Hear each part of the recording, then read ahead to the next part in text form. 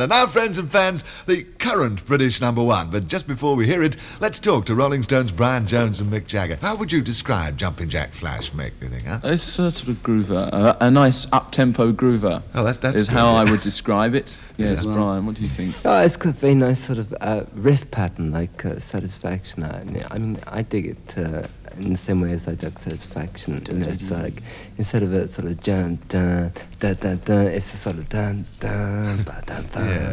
Yeah. yeah, I- I dun, love dun. it. You know, I mean, Nice it's not. Um, it's uh, but but it's very different. But it has the same basic sort of uh, funky quality. Yes, That's it. That's it. It's, it's a very basic, simple sound, isn't it? I mean, compared with your Satanic Majesties Um, LP.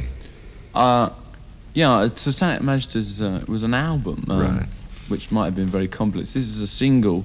I mean, it's one track. I mean, this is one track of what we're doing at the moment. I mean, it isn't like we're not making an LP like this. You know, No, no. I mean, some of the LP will be, in a way, as complicated. In a way, totally different. Uh-huh. But I mean, this is a this is one track, and it happens to be very basic. You know? All right, let's hear it.